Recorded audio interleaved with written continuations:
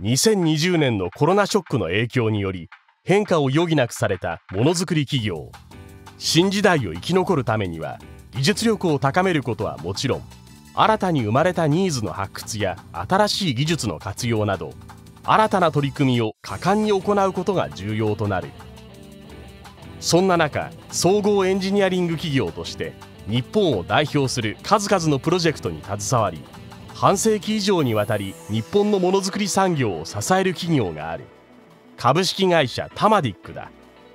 自動車航空宇宙機器 FA ロボットなどトップメーカーの設計開発生産技術の分野のコア業務を担う同社は高度な専門性と技術力を持つエンジニアがチーム単位でプロジェクトを請け負うビジネスモデルを推進し付加価値の高い技術サービスを提供。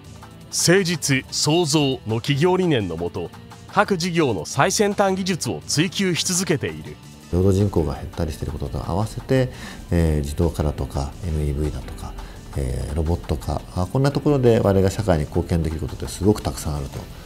思っていてですねその分野を狙っていくのが今面白いところだと思っています。2020年5月に新社屋の着工を開始しさらなる事業領域の拡大を目指す経営者の軌跡と新時代を見据えた成長ビジョンに迫る。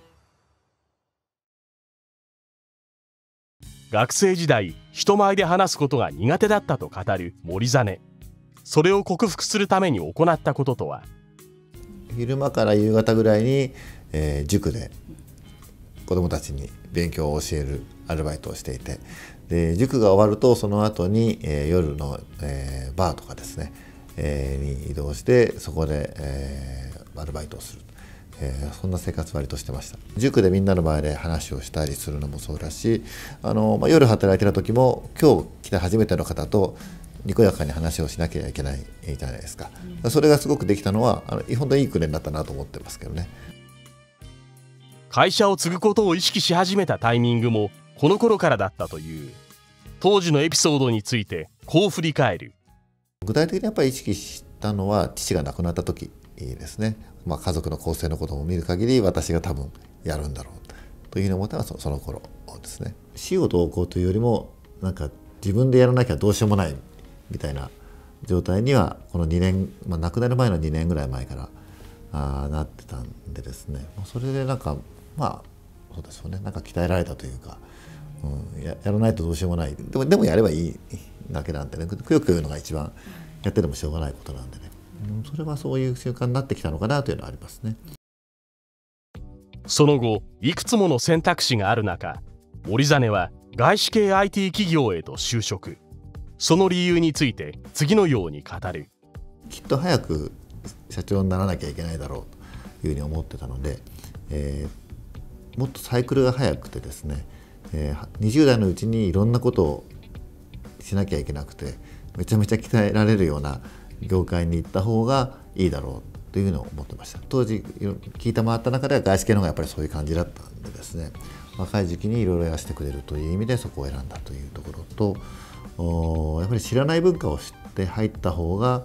きっといつかの役に立つだろうというところもあってですね。で今まである今日本の会社の企業でメーカーのお客様が抱えていらっしゃる抱えているうちの会社とはちょっと違う文化に触れておいた方がいいだろうというのもあってこの外資系の会社を選んだんですね。当時は IT バブルの真っ只中であり多忙な日々を過ごしていたという森実。その中で得た仕事をする上で重要だと感じたこととはお話しする相手の方はあその通信会社の、えー、課長とか部長さんとかなんですね。4050の経験豊富な方たちとやっぱり話をさせていただいてて生意気だって言われることも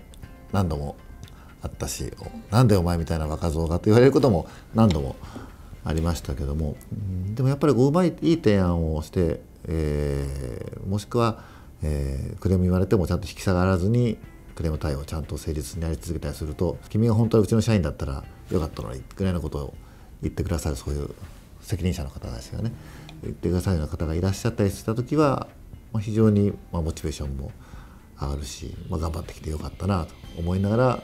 っぱそういうのがあると自分の利益だとか自分の成績だけじゃなくてやっぱりこのお客さんせっかくこうやって言ってくださるお客さんのためにやっぱりいい仕事しなきゃダメだっていうのはすごくそういうきっかけで思うようにはなったなってのありますよね。外資系企業で力をつけた森実はその後2000年にタマディックへ入社。研修として当時の課を全て回って社員の請金ぶりを見る中で将来的に解決しなければならない課題に気づいたという。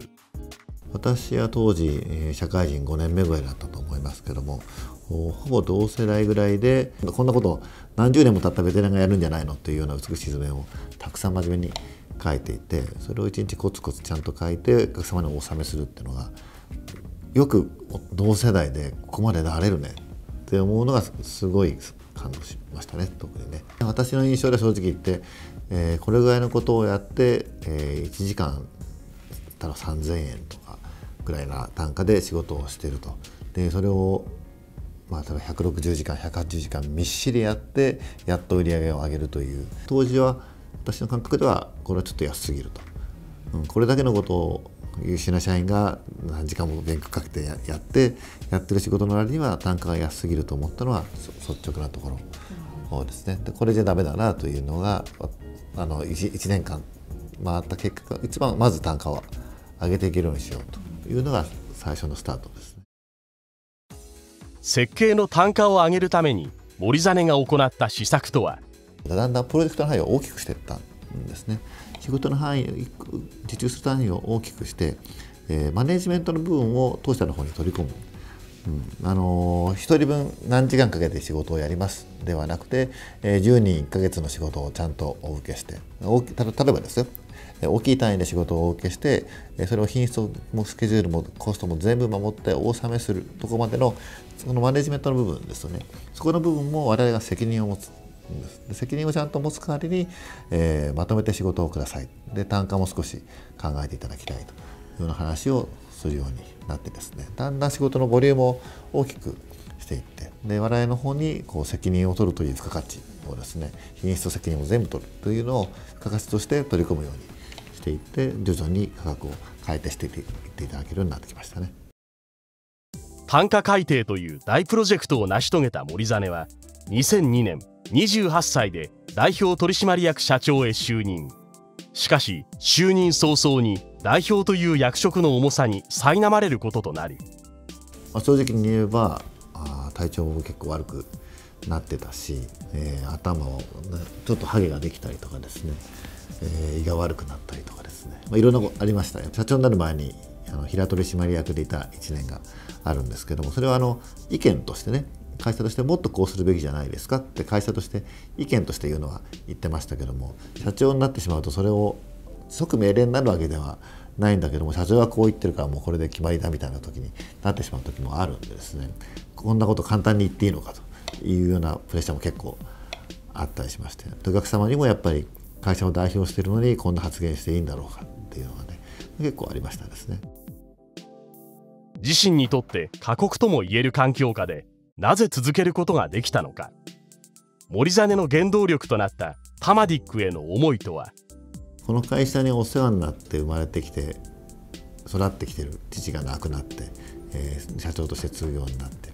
で会社の中に入ってみたら非常に真面目であの誠実で優しい機械好きの社員がいっぱいいてですね。いい会社だなとは思ってましたから、えー、この会社はもっと良くしないと嘘だろうって持っていてこの会社をいい会社により良い会社にするっていうのはまあ当たり前なんじゃないの？っ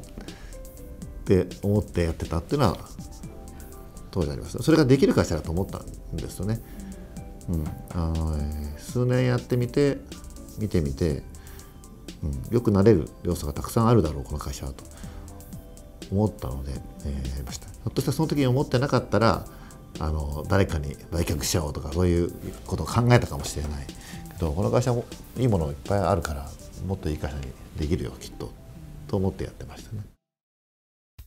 総合エンジニアリング企業として自動車事業航空宇宙事業 FA ロボティクス事業など日本のものづくり産業の未来を担う事業を数多く手掛けるタマディック。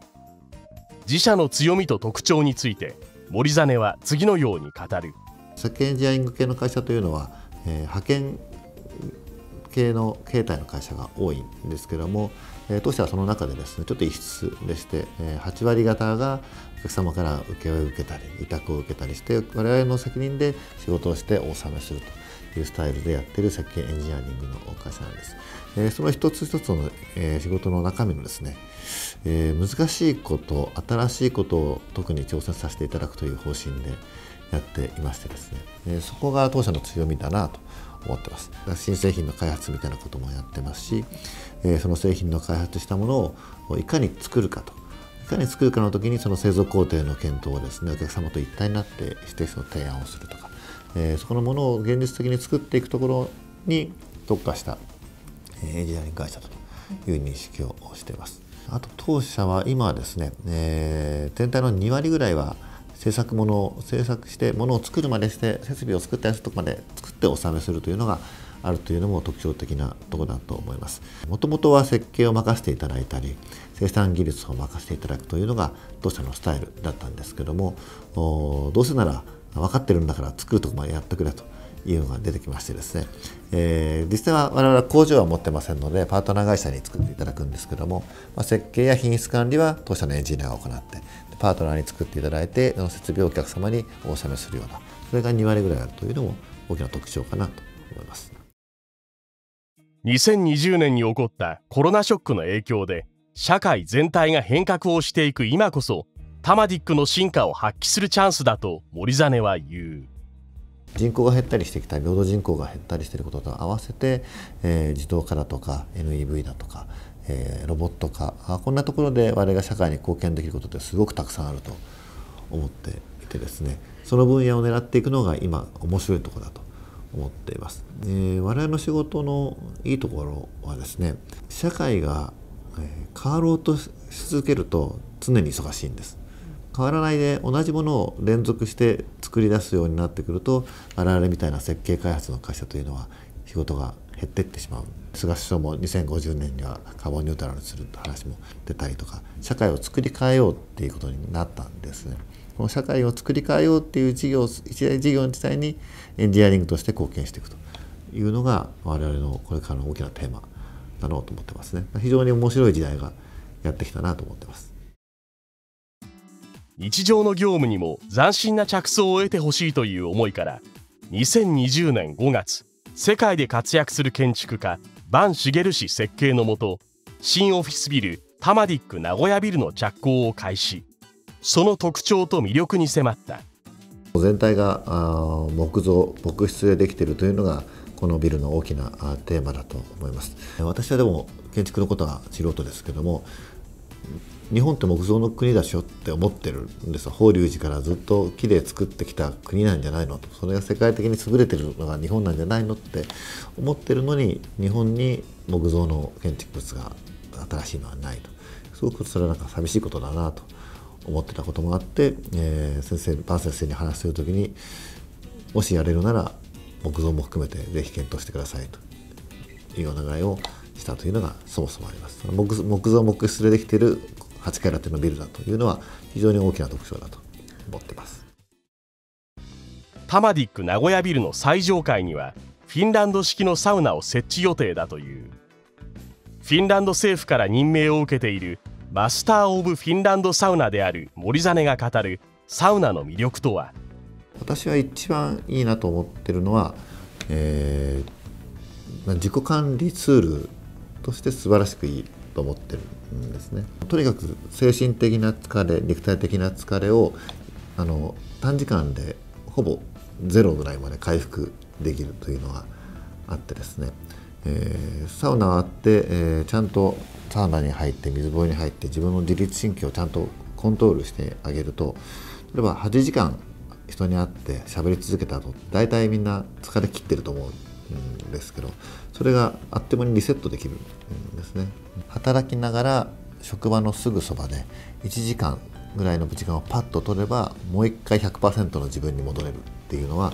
すごく魅力があることなんで忙しい方経営者だとか、まあ、それこそスポーツ選手だとか芸能人みたいな方でファンが多いのはよく分かります。